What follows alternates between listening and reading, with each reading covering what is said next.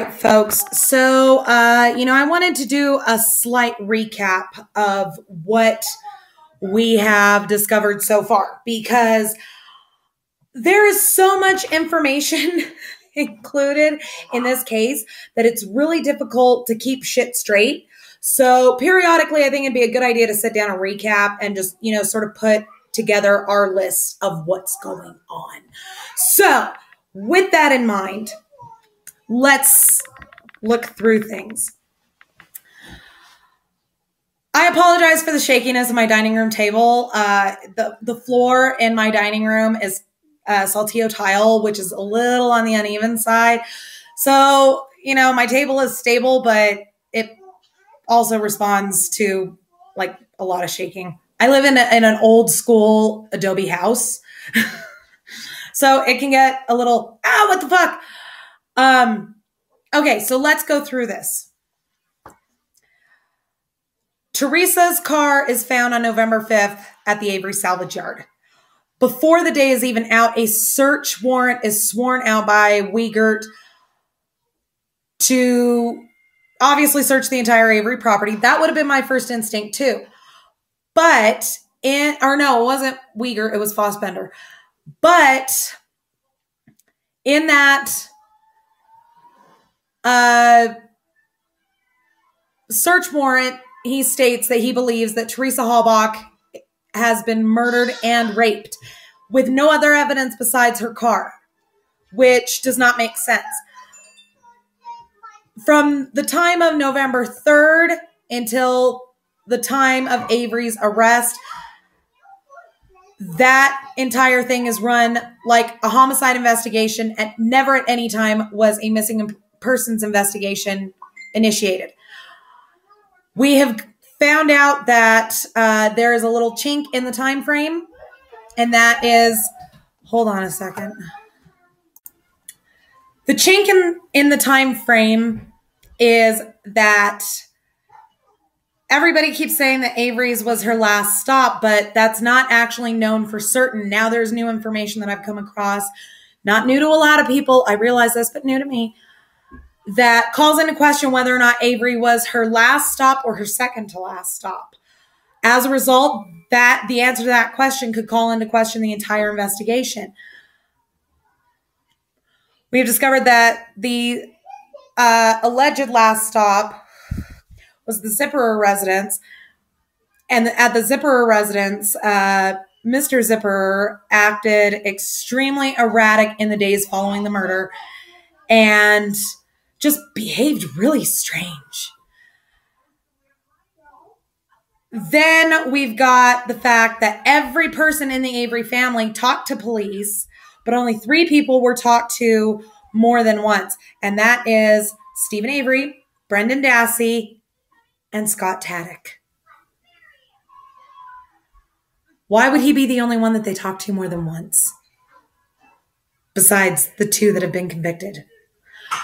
We discovered that Scott Tadych at the time of the murder worked at the foundry, which, uh, yeah, considering the state of the bones, hello.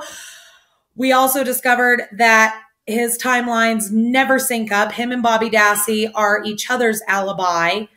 We also discovered that Ryan Hillegas, his storyline is not accurate at all. There's a lot of misinformation in there.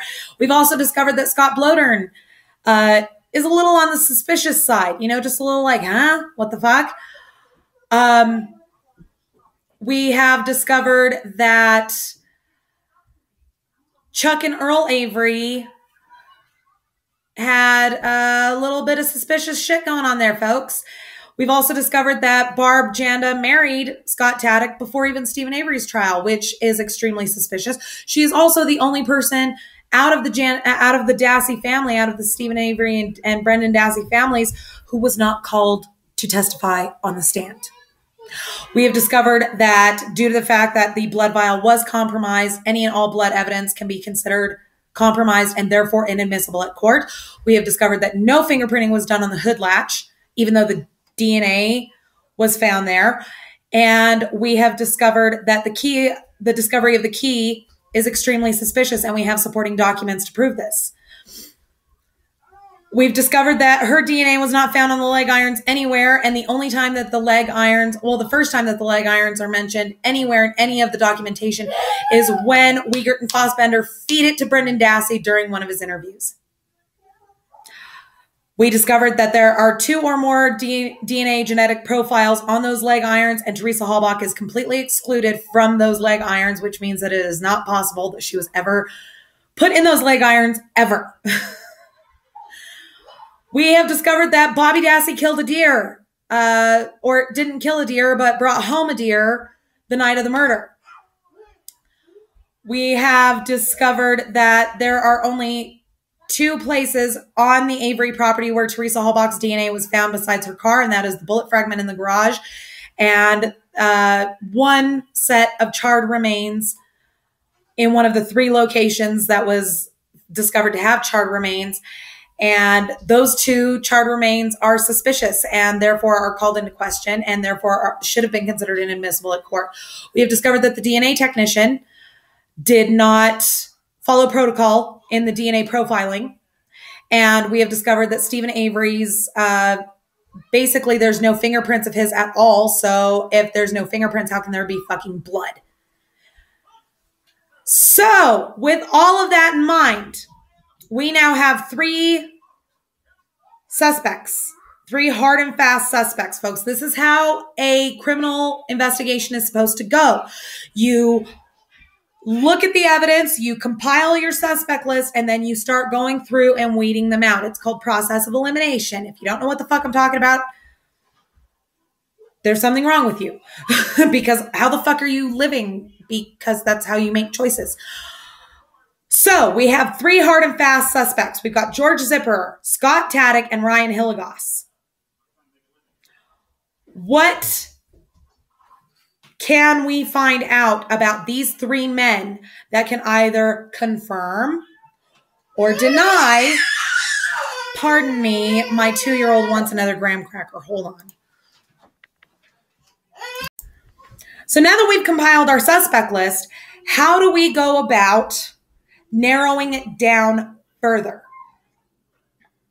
Well, that's very simple, folks we start taking a very hardcore look at the evidence. We start going through the evidence that we've already gone through, and we go through every bit of evidence as it becomes available online. And based off of that evidence, we start looking at each of these three suspects, whether they had motive, whether they had opportunity, and whether they had means, and narrow that down. Each one of these three men had opportunity, and means. All we got to do is find the motive. Ryan is the one with the most motive at the moment because he's our ex boyfriend. But that doesn't exactly a murderer make, unfortunately. but now that we've narrowed down the suspect list to three, now we can narrow it down further. So, that is what I'm going to do. I'm going to start taking an even harder look at the evidence. I'm going to do uh, as much digging as my mine and my uh, video partner, as much as our skills will allow us. Hi, John. and we are going to narrow down the suspect list even more. As we discover more evidence, we will be putting up more videos and uh, yeah, by the way, guys, uh, I've got a booster campaign going at the moment. Uh, get a t shirt. because what this will do is this will allow me to buy the equipment that I need in order to give you better quality videos. I know that my camera sucks. I'm sorry. I've got a shitty computer right now. Um, but also, there are some experiments that I would like to do that involve pigs, and pigs are extremely expensive. And I'll explain why in a future video. So, yeah, I'll put the link for the booster campaign down below. And thank you all very much for watching. Thank you all for your support and your encouragement. And we'll see you soon. Thank you.